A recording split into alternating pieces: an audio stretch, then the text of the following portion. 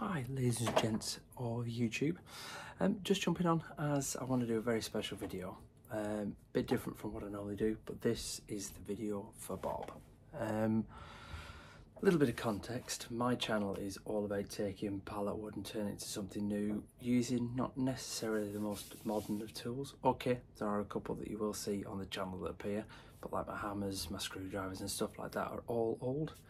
Um, however, I've just been donated some tools from i.e. Bob and his family, um, which is great. Um, he was a carpenter back in the day, used to build all sorts apparently.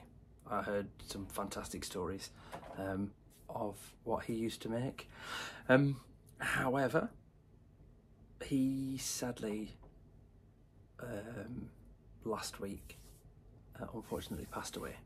Um, so I'm sensitive putting this out there because just if you're unwell, go get seen, go get checked. Just you never know what it could be. It could be something, it could be nothing. Just look after yourselves. But the main message that I want to do from this is what I want to do is with the tools that he has donated, and I will put over on Instagram some of the tools that he donated to me. I'll put some pictures on there. But I want to take the what he's given me and I want to develop my game. Some of the tools that he has handed across to me, or his family have handed across to me, um, are older, but they are amazing tools. They work, they're phenomenal, um, and I want to move this, uh, move them along.